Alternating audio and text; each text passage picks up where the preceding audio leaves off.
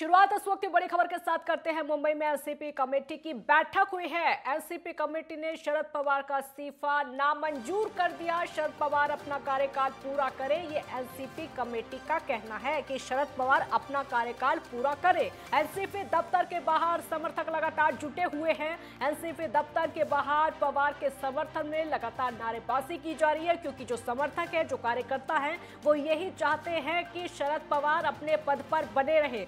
शरद पवार अपना पद ना छोड़े। आखिरकार समर्थकों की बात मान ली गई है। यही कहा जाएगा क्योंकि इस्तीफा नामंजूर कर दिया गया है। सुबह से लगातार इस बैठक का इंतज़ार किया जा रहा था, जो एनसीपी कमेटी की बैठक होगी। इस बैठक में क्या हो सकता है? तो एनसीपी कमेटी ने शरद पवार का इस्तीफा नामंजूर कर दिया है। आपको याद दिला दे कि शरद पवार ने दो से तीन दिन पहले अपने पद से इस्तीफे का ऐलान किया था कि वो अब अपने पद पर नहीं रहेंगे। लेकिन अब जो एनसीपी कमेटी की बैठक हुई है, कमेटी ने शरद पवार का इस्तीफा नामंजूर कर दिया है। शरद पवार अपना कार्यकाल पूरा करें। यह बात एनसीपी कमेटी की तरफ़ से कही गई है, क्योंकि शरद पवार का भी कार्यकाल बचा हुआ है। पूरे तीन साल तक वो अपना कार्यकाल पूरा करें, उसके बाद कोई फैसला लिया जाएगा। यानी अभी जो कुल मिलाकर कहा जा सकता है कि शरद पवार अपने पद पर बने रहेंगे, क्योंकि उनके इस्तीफे को नामंजूर कर दिया गया है।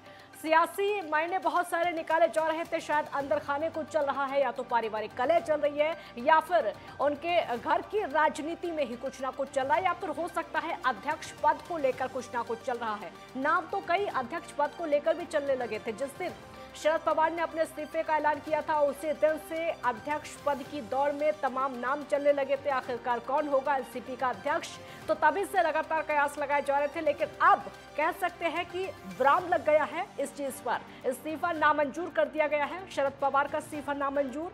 अब शरद पवार अपना कार्यकाल पूरा करें। ये बात एनसीपी कमेटी की तरफ़ से कही गई है। यानी कुल मिलाकर कहा जा सकता है, जो ऐलान शरद पवार की तरफ़ से किया गया था, उस पर फ़िलहाल के लिए विराम लग गया है। अब आगे शरद पवार का फैसला क्या होगा, ये देखना होगा।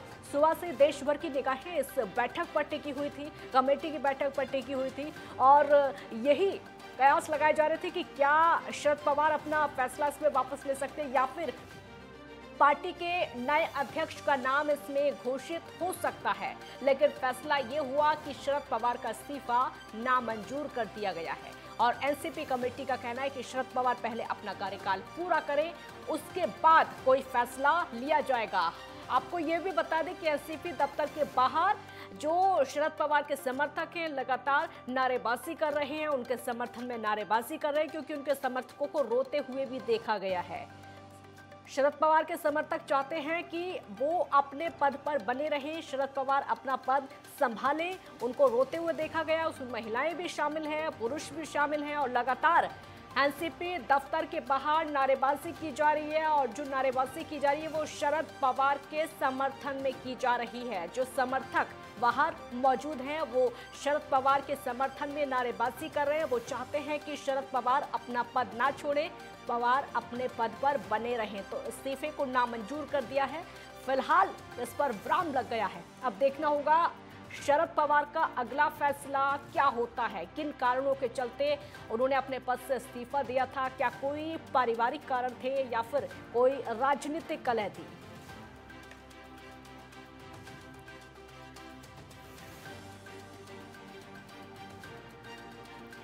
विनोद ओझा ब्यूरो चीफ महाराष्ट्र से समय हमारे साथ जुड़े हैं और ज़्यादा जानकारी के लिए विनोद सुबह से लगातार इंतज़ार किया जा रहा था जब ये बैठक शुरू हुई थी। आखिरकार क्या फैसला हो सकता है?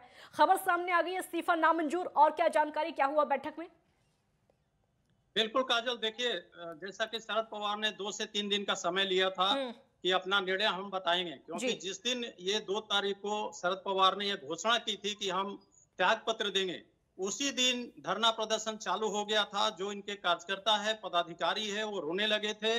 और हर किसी का एक ही विनती थी कि शरद पवार अपना ये जो त्याग पत्र का निर्णय लिए हैं, उसको वापस ले लें। अब देखिए, जबकि इतने सारे लोगों का सामूहिक त्याग पत्र भी आया है, कई ज़िले के पदाधिकारी त्याग पत्र दे दिए हैं, कई तालुका के लोग त्याग पत्र दे दिए हैं। आज ऐसा भी हुआ कि जब ये बैठकी चल रही थी अंदर उस समय एक कार्यकर्ता ने आत्महत्या करने का प्रयास किया। तो जिस जिस तरीके से लोग उग्र हो रहे हैं शरद पवार के ये जो निर्णय है उसको वापस लेने के लिए राष्ट्रवादी पार्टी के पास अब कोई रास्ता नहीं रह गया था और इसीलिए जो अभी बैठकी हुई जो इनके कमेटी ने एक फैसला लिया कि जो शरद पवार ने यह निर्णय लिया है वो कमेटी को नामंजूर है और ये जो कमेटी का निर्णय है वो शरद पवार को बता दिया जाएगा, इस निर्णय से अवगत करा दिया जाएगा। तो अब तो ऐसा लगता है कि शरद पवार को अध्यक्ष पद पे बना रहना पड़ेगा, लेकिन हाँ एक जो संभावना है, वो संभावना ये व्यक्त की जा रही है कि शरद पवार कार्याध्यक्ष का चुनाव कर सकते हैं, एक कार्याध्यक्ष रख सकते हैं। क्योंकि एकदम से अब उनको त्याग पत्र देना या पार्टी के अध्यक्ष पद छोड़ना शायद संभव न हो क्योंकि पार्टी टूट के कगार पे चली जाएगी और अंदरूनी कलह भी है। काजल देखिए कई नेता हैं जिनकी आपस में बन नहीं रही है।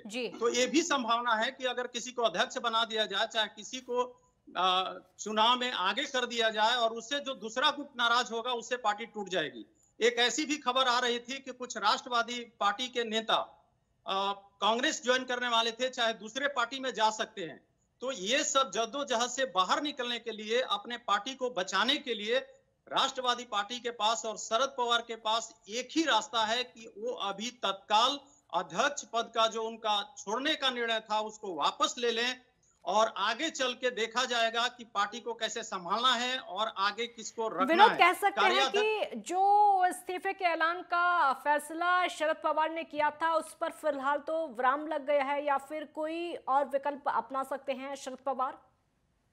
बिल्कुल ऐसा कहा जा सकता है क्योंकि जब कमेटी ने उनका फैसला और उनका जो त्याग पत्र था उसको नामंजूर कर दिया है तो कमेटी शरद पवार के ऊपर छोड़ दे कि शरद पवार जो निर्णय लेंगे वो सभी को मान्य होगा।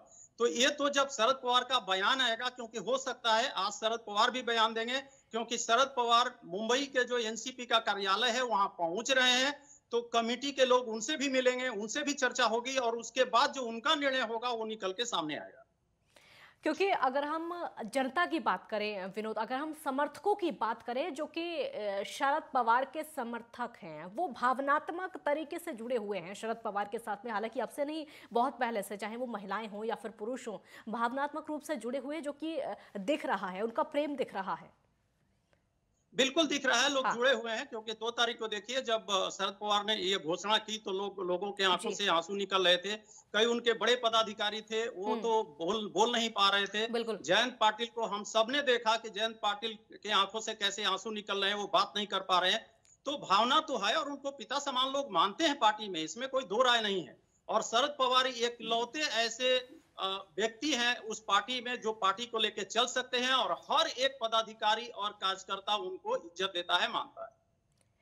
विरोध भावनात्मक तरीके से समर्थकों का जुटना और शरद पवार से जुड़ना इसको महाराष्ट्र की संस्कृति कह सकते हैं या फिर शरद पवार की छवि? देखिए बिल्कुल संस्कृति कह सकते हैं और एक परिवार हाँ। की संस्कृति होती है और उनको परिवार के तुल्य ही समझा जाता था। उनका जो ये गार्जियनशिप था उसी में पार्टी चलती थी। हालाँकि अलग बात है कि अंदरूनी कुछ चीज़ों को लेकर के भी पार्टी के कार्यकर्ता और पदाधिकारी बड़ी भावुक है कि नहीं पार्टी टूट जाएगी। शरद पवार को अध्यक्ष पद पे बना रहना चाहिए। इसलिए भी बहुत ज़्यादा वहाँ पे शोर शराबा और लोग उग्र होने की कोशिश कर रहे हैं। देखिए एक अध्यक्ष पद छोड़ने को लेकर के अगर कोई कार्यकर्ता आत्महत्या का प्रयास करता है तो ये तो एक बहुत एक्सट्रीम लेवल पे चला गया सब चीज़ें कि नहीं अब कुछ नहीं हो सकता और शरद पवार को अपनी पार्टी संभालनी है तो उनको तुरंत निर्णय लेना पड़ेगा। अब विनोद ये बताता है ये तस्वीरें बताती हैं कि शरद पवार लोगों के बीच में जमीनी स्तर पर क्या पैठ रखते हैं क्या छवि रखते हैं?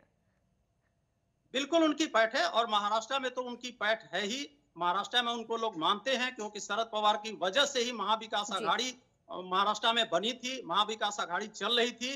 लेकिन शरद पवार के अचानक से हटते ही जो महा महाविकास आघाड़ी की नींव है, वो भी टकमगा गई है। क्योंकि अब किसी को समझ में नहीं आ रहा है कि आगे क्या होगा। शरद पवार महाराष्ट्र महाविकास आघाड़ी में रहेंगे या नहीं रहेंगे, उस पर तो प्रश्न चिन्ह ऑलरेडी तीन, चार दिन से लगा हुआ है जब से ये सब चीज़ें चल रही विनोद हमने देखा और हम पहले भी इस बात को लेकर बात करते रहे हैं कि शरद पवार अगर कोई फैसला ले लें तो उससे पीछे हटना बहुत मुश्किल है, क्योंकि अब तक जो उनकी छवि रही है, उसको देखते हुए जो उनकी राजनीति देखी गई है, चाहे वो मुख्यमंत्री के तौर पर हो या फिर कैबिनेट मंत्री के तौर पर हो तो क्या अभी इस एनसीपी कमेटी के फैसले से संतुष्ट होंगे? शरद पवार या फिर कोई और विकल्प अपना सकते हैं?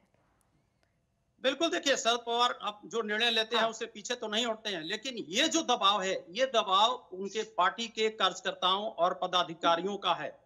ये दबाव ऐसा है क्योंकि कोई भी निर्णय होगा तो पार्टी को बचाने का निर्णय सबसे पहले होगा।